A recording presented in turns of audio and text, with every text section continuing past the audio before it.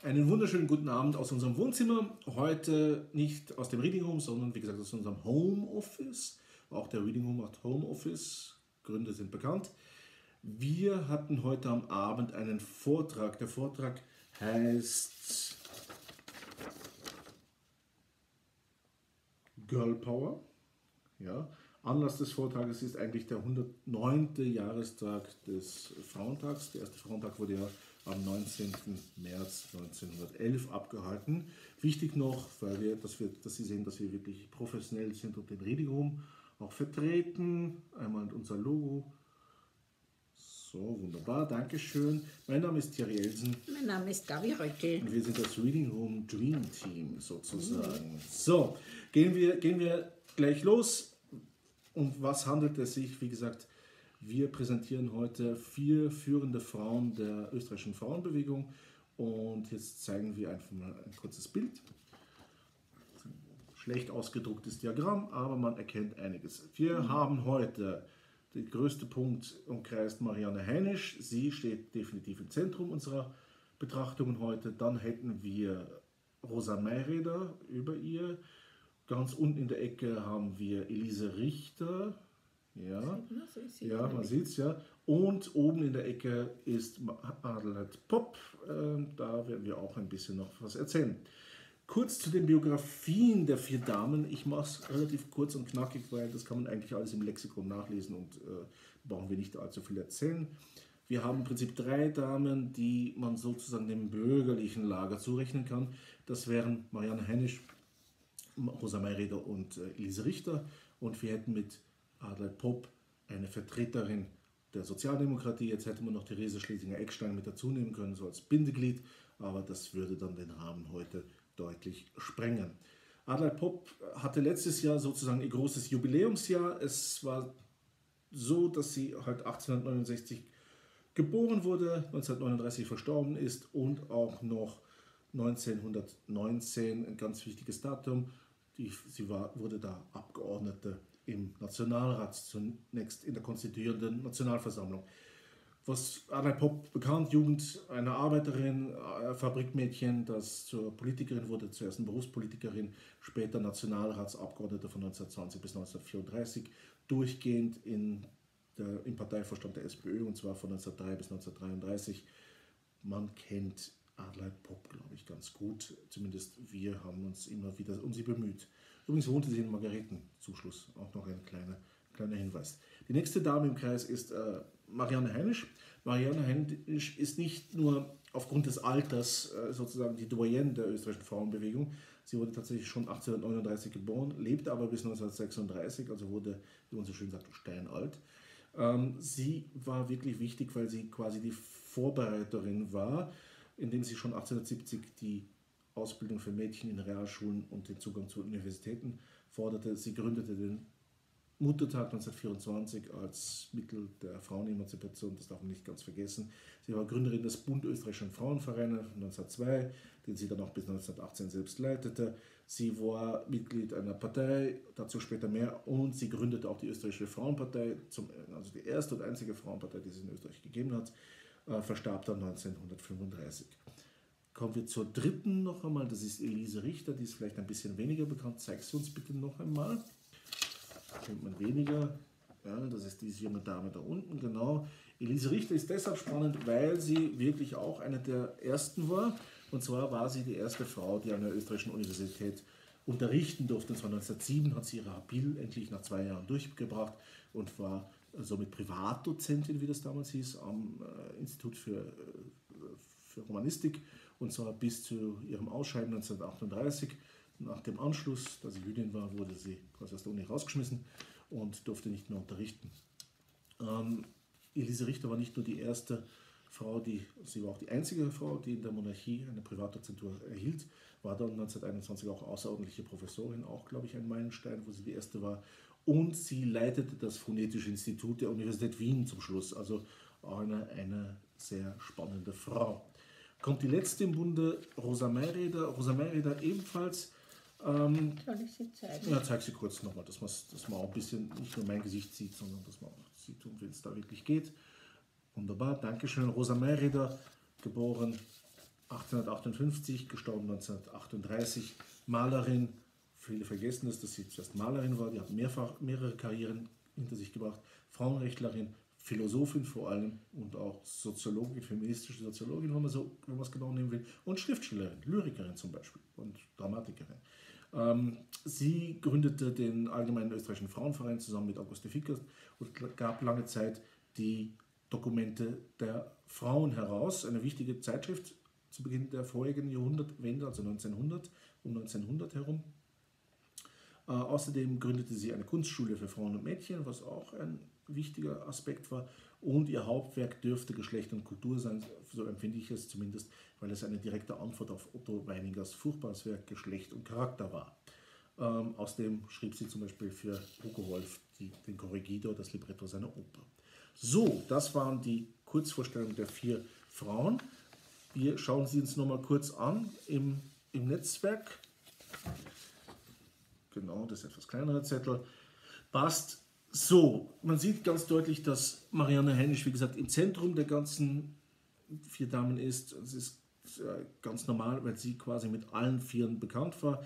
Marianne Heinisch war die Begründerin der Frauenbewegung. Sie war Mitglied in zahlreichen Organisationen und ähm, war auch, wie gesagt, Gründerin der österreichischen Frauenpartei. Sie war mit allen Personen persönlich bekannt, also sowohl mit, mit Rosa Mayreder, mit Elise Richter als auch mit Adelheid Popp. Zum Beispiel waren beide Frauen ab 18 bis 1927, zumindest Elise Richter, äh, Mitglied der bürgerlich-demokratischen Arbeitspartei. Das heißt, Marianne Heinisch, was viele, viele sagen noch immer, Marianne Heinisch war nicht parteipolitisch aktiv. Das stimmt nicht. Sie war zusammen mit Elise Richter in einer Kleinstpartei kaum von Bedeutung, aber sie war parteipolitisch aktiv. Und äh, zum Beispiel war sie auch mit, äh, mit, äh, mit Marianne, äh, mit äh, Rosa Mayrieder zusammen, in, zum Beispiel im Allgemeinen Österreichischen Frauenverein. Und auch mit Adelheid Popp immer wieder kreuzte sie die Wege bei diversen Veranstaltungen. Zum Beispiel, nur als ein Beispiel herauszunehmen, äh, als die Gedenkbüste für Auguste Fickert 1929 im Türkenschanzpark in Wien enthüllt wurde, waren sowohl Rosa Mayrieder als auch ähm, Adelheid, ähm, Adelheid Popp dort präsent und hielten Reden und Marianne Heinisch war im, im Komitee, das diese Sache ähm, quasi ja, organisierte. Also diese Frauen sind immer wieder miteinander in Verbindung zu bringen. Das Selbstverständnis, was uns jetzt natürlich interessiert, ist das Selbstverständnis als Feministinnen. Die vier Frauen hatten ein spannendes Verhältnis zum Thema Feminismus. Es war immer wieder unterschiedlich, aber einige Textstellen sind sehr interessant. Nachdem unsere Frauenministerin gemeint hat, sie sei keine Feministin, äh, ist sie in einer guten Tradition, allerdings aus anderen Gründen. Zum Beispiel sagte Marianne Heinisch 1870. Ich gestehe, dass ich das Wort Emanzipation stets ungerne für meine Sache angewendet sehe da sich mit diesem Worte gewöhnlich Ideen verbinden, welche ich nicht hege. Nach dem, was ich über die geringe Ausbildung der Frauen gesprochen habe, wird man mir nicht zumuten, dass ich heute an ein politisches Wirken derselben denke. Man wird mir ferner auch nicht zumuten, dass ich als Österreicherin zu allen übrigen Fragen noch eine politische Frauenfrage auf die Tagesordnung setzen möchte. Gleichzeitig möchte ich aber dartun, dass ich mit den sogenannten emanzipierten Damen nichts gemein habe. Mit Damen, welche sich zur Lebensaufgabe machen, die Luxusgewohnheiten der Herren nachzuahmen oder das Streben haben, es diesen darin zuvor zu tun. Wenn wir bedenken, dass Marianne Heinisch Mitbegründerin der österreichischen Frauenpartei war und dass sie ähm, auch wesentliche Fragen des Feminismus immer wieder in ihren Schriften aufs Tableau brachte, dann ist es natürlich spannend, dass eine solche Dame sagt, sie sei keine Emanzipierte und sie würde auch nicht wirklich politische Frauenpolitik betreiben.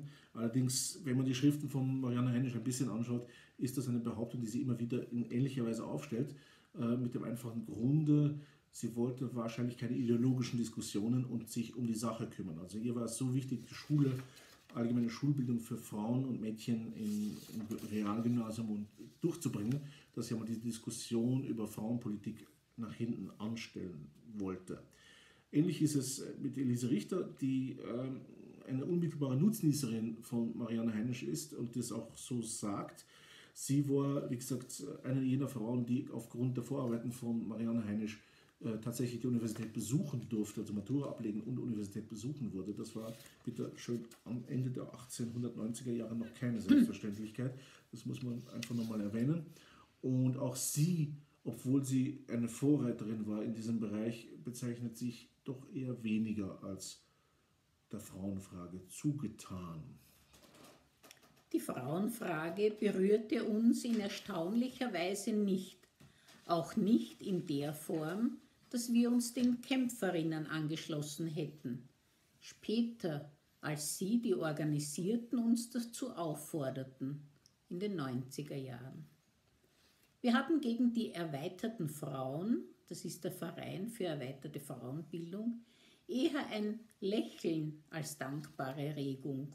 Und dennoch verdankte ich es ihnen und ähnlichen Bestrebungen, dass ich mich schließlich zu der staatlich anerkannten Matura melden konnte. Mit den erweiterten Frauen meint, wie gesagt, Elise Richter, der Verein zur erweiterten Frauen, der Verein zur Fra erweiterten Frauenbildung. Wir haben es schon erwähnt, Marianne Heinisch war Mitglied dieses Vereins und dieser Verein war maßgeblich daran beteiligt, dass Mädchen ins Gymnasium gehen durften. Das Meisterstück war wahrscheinlich die Gründung der Rahlgasse 1910. Das Gymnasium gibt es noch heute und ist relativ bekannt in Wien. Dazu sagt Richter ein wenig später, ich betrat die Universität nicht als Frauenrechtlerin. Noch viel weniger dachte ich dabei an den Beruf als Versorgung. Für uns als Erstlinge war der maßgebende Impuls der Trieb nach Selbstentfaltung, die Sehnsucht, unsere Kräfte in der ihnen genehmen Art zu brauchen und der menschlichen Gemeinschaft auf ihre innerlich vorgeschriebene Weise nützen zu dürfen. Es war die Sehnsucht nach dem Recht auf höhere Pflichten, nach dem durch die Berufung vorgezeichneten Lebensweg. Dieser Ansatz ist eigentlich heute auch noch sehr, ist eigentlich heute unumstritten. Das heißt, nach den eigenen Fähigkeiten, Wünschen soll jeder seine Karriere oder seinen Weg gehen. Damals war es ganz sicher nicht der Fall. Ähm, eine ähnliche Position vertritt übrigens auch Rosa Mayreder, das muss man auch ganz deutlich sagen. Interessant ist allerdings, dass ähm, Richter hier 1938 schreibt sie diesen Text, äh, wahrscheinlich durch das Bild der Altersmilde oder durch, das, durch die Brille der Altersmilde ein wenig abschwächt. 1927 klingt das alles ein bisschen anders. Elise Richter ist zu dieser Zeit tatsächlich politisch aktiv und äh, ja, sie stellt das Ganze dann ein wenig anders dar. Ich war nie darauf ausgegangen, als Frauenrechtlerin zu kämpfen. Ich wünschte, mit aller Inbrunst den Weg zu gehen, auf den innersten Betätigungsdrang mich wies, und ich hätte das mir oft vorgehaltene Novum herzlich gern einer anderen überlassen.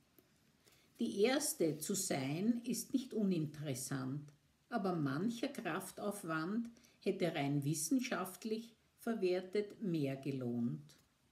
Wohl aber empfand ich die staatsbürgerliche Verpflichtung einer Frau, sich der ihr in den Schoß gefallenen politischen Befreiung würdig zu erweisen und mit vollem Verantwortungsgefühl am Rettungswerk aus der Zerstörung, an der notwendigen Neugestaltung aller Verhältnisse mitzuarbeiten und bin daher seit dem Umsturz auch politisch tätig.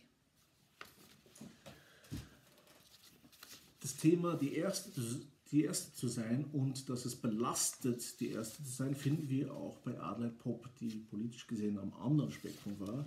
Äh, Elise Richter hatte mit der Sozialdemokratie sehr, sehr wenig am Hut. Sie mochte die Sozialdemokratie eigentlich überhaupt nicht ähm, und ähm, war auch durch und durch eine bürgerlich, großbürgerlich liberale Jüdin. Ähm, Adelheid Popp hingegen wie gesagt, anderes Spektrum, sozial als auch, als auch politisch eingestellt, hatte eine ähnliche Empfindung, wenn es darum ging, die Erste zu sein.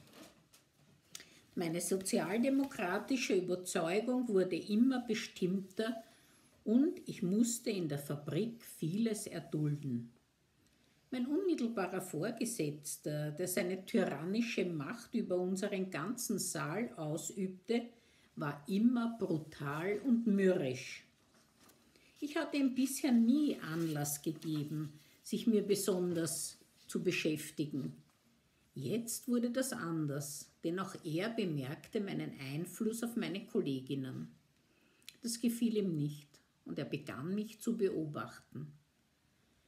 Er fing an, meine Arbeit zu kontrollieren, wenn er sich sonst, wenn es sich sonst genügt hatte, einmal am des Tages nachzusehen und er bei mir oft ganz darauf verzichtet hatte, so kam er jetzt zehnmal am Tag. Eines Tages sprach mich mein Arbeitgeber an, um mir mitzuteilen, dass mein Vorgesetzter mit mir unzufrieden sei. Denken Sie daran, dass Sie für eine alte Mutter zu sorgen haben, sagte er zum Schluss. Von der Frauenfrage hatte ich noch immer keine Ahnung. Darüber stand nichts in der Zeitung und eine andere Presse als die sozialdemokratische las ich nicht mehr. Ich kannte auch keine Frau, die sich für Politik interessiert hätte. Ich galt als eine Ausnahme und betrachtete mich selbst als eine. Die soziale Frage, wie ich sie damals verstand, hielt ich für eine Männerfrage und ebenso die Politik. Nur hätte ich gerne ein Mann sein mögen, um auch ein Anrecht auf die Beschäftigung mit Politik zu haben. Dass die Sozialdemokraten den Frauen die Gleichberechtigung mit dem Manne erkämpfen wollen, erfuhr ich zum ersten Mal, als ich nach dem Heinfelder Parteitage der österreichischen Sozialdemokratischen Partei das sozialdemokratische Programm las. Wie aber Frauen selbst an den Parteibestrebungen mitarbeiten könnten, wusste ich noch nicht. Aber Pop hatte sicher an zwei Fronten zu kämpfen. Einerseits als Fabriksarbeiterin und junge Politikerin gegen die Männer in ihrem Umfeld, aber andererseits natürlich auch gegen die eigene Partei, die die Frauenfrage mitnichten als wichtig erachtete, zumindest in der ersten Zeit. Bleibt noch die vierte oder fehlt noch die vierte im Bunde, Rosa Mayreder, die ja eine ausgewiesene Philosophin und Theoretikerin des Feminismus ist. Auch sie ähm, hat doch das eine oder andere kritische Wort zum Thema zu sagen.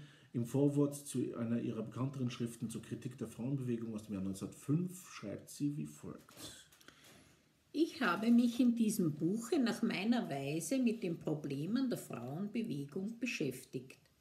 Wenn ich auch in einigen Punkten nicht mit ihr übereinstimme, so halte ich doch die Frauenbewegung für eine jener Erscheinungen, durch welche sich die Gegenwart vor allen vorhergehenden unterscheidet. Noch mehr, sie scheint mir mit einer höchsten Auszeichnung einer Zeit zu sein, die im Übrigen durch ihre Verarmung an Idealen, an hochgestimmten Gefühlen, an gläubigen Enthusiasmus den Charakter des Niedergangs trägt. Alle vier Frauen bezeichneten sich, bezeichneten sich also nicht als Feministinnen, zumindest zu Beginn ihrer Entwicklung. Sie waren vielmehr die Ersten und sie definierten im Wesentlichen, was damals eine Feministin war und ist. Dass sie weitreichende Folgen, dass das, was sie taten, weitreichende Folgen hat, hat und hatte, ist klar. Aber dass der Weg, den sie gingen, ein langer sein würde, war ihnen vielleicht nicht ganz so klar. Wenn man bedenkt einfach, Beispiel, dass Adelaide Pope bereits 1920 die Fristenlösung forderte und äh, Johanna Donald sie erst in den 70er Jahren umsetzte, zeigt das, wovon die Rede ist. Dass nach wie vor Frauen in Universitätsprofessorenrollen deutlich unterrepräsentiert sind, ist auch kein Novum. Alle vier Frauen waren die ersten unter den ersten. Sie setzten Maßstäbe, wie gesagt, sie waren Wegbereiterinnen und sie mussten viele, viele Kämpfe für uns später, sie mussten viele, viele Kämpfe fechten, die wir dann später weiter fechten mussten. Nun kann man fragen, warum ist es in Zeiten wie diesen sich wichtig, wichtig sich mit einer derartig akademischen Frage vielleicht zu beschäftigen. Ähm, hier habe ich eine kleine Grafik vorbereitet, die zeigt, nehmen wir mal so rein, die zeigt, die blauen Balken sind natürlich die Männlein, die rosanen Balken sind natürlich die Damen und Frauen, Weiblein. Ähm, da sieht man, wie die Verteilung von Frauen und Männern in ganz wichtigen, derzeit ganz wichtigen Berufen ist. Erster Balken Gesundheitswesen, rosa wie gesagt Frauen, blaue Männer. Zweiter ist äh, Erziehung und Unterricht, auch wenn die Schulen jetzt geschlossen sind, Erziehung und Unterricht geht weiter. Auch da sieht man die Verteilung. Und die dritte ist der Einzelhandel. Und auch das ist ein Thema, was im Moment nicht ganz unwichtig ist. In anderen Bereichen sind Männer, Wasserversorgung und so weiter, sind Männer natürlich vordergründig und in anderen Bereichen ist es ausgewogen. Aber diese drei sind im Moment, glaube ich, die ganz wichtigen Bereiche. Und man kann diesen Frauen, die dort jeden Tag für uns alle den Mann stehen oder die Frau stehen, wie auch immer man das sehen möchte, nicht genug danken. In diesem Sinne ist es vielleicht gar nicht so falsch, sich mit jenen Frauen zu beschäftigen, die heute für uns kämpfen, aber auch mit jenen Frauen, mit denen es angefangen hat. Das war jetzt der Vortrag, unser erster Homeoffice-Vortrag sozusagen. Ja, wolltest du nicht noch die Bücher zeigen? Ja, ein paar Werbe, Werbung müssen wir auch noch, ein paar Produktplatzierungen. Das Bild, was man hinten sieht, ist ein Bild von einem wunderbaren jungen Maler, Merlin Dickey. Es ist eine Anspielung auf Dantes Unterwelt. Und das heißt hm? Seven Sins. Und das heißt Seven Sins. Übrigens gibt, habe ich ja Übrigens gibt es ja mittlerweile auch eine achte Sünde, die heißt rausgehen und sich in Gruppen treffen. Das ist die achte Todessünde im Moment. Und wir wollen natürlich auch ein bisschen Werbung machen für Bücher, und zwar alle aus der Edition Libica oder Libiza. Ein wunderbarer Verlag. Ich zeige mal das erste, das ist leider vergriffen. Das ist zu Marianne Heinisch, die Mutter. Bitte schreibt dem Verlag, dass ihr das Buch haben wollt, dann wird es vielleicht wieder aufgelegt, er wird sich sehr freuen. Das zweite Buch, was wir haben, ein wunderschönes Buch, Rosa Mayräder, die Fabeleien, ja, auch in der Edition Libiza erschienen. Unten sieht man es, so wird es geschrieben. Dann noch einmal Rosa Maria, noch ein schöneres Buch, fantastisches Buch. Aschmedeis Sonette. Sonette sind etwas sehr Tolles. Es ist hier die Entstehungsgeschichte der Welt, ein bisschen gegen den Strich gebürstet. Auch das können wir sehr empfehlen. Ebenfalls Edition Libiza. Und last but not least ein rotes Büchlein, nicht das Mauerbüchlein, sondern Adelheid Popp, Frauenarbeit in der kapitalistischen Gesellschaft, passt extrem im Moment auch, wie man sieht, da oben in der Ecke, Edition Libica. Alle, oder Libica, alle Bücher sind beim Verlag zu bestellen. Bitte tut das, kauft Bücher. Das ist im Moment etwas Tolles und ist auch einfach problemlos und hilft uns allen. Wir danken für eure Aufmerksamkeit. Falls es euch gefallen hat, bitte hinterlasst uns die üblichen Likes und Kommentare. Falls nicht, tut es auch trotzdem. Wir freuen uns sehr und vielleicht gibt es eine Fortsetzung. Vielleicht gibt es eine Fortsetzung. In diesem Sinne, Sie waren uns ein wunderbares Publikum. Wir sagen Danke. Danke und guten ciao. ciao. Guten Abend.